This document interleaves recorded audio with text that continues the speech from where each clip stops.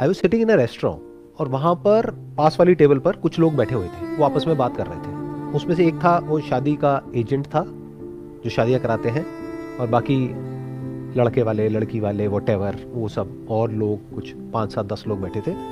तो वहाँ बिल्कुल स्ट्रेट फॉरवर्ड बेशर्मों की तरह खुल करके बात हो रही थी कि डेढ़ करोड़ में बात हुई थी और इतना कैश में था, इतना ऐसे था, इतना वैसे था।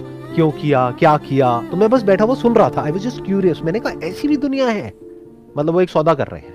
जैसे होते नहीं है कि एजेंट होते हैं प्रॉपर्टी का सौदा करते हैं।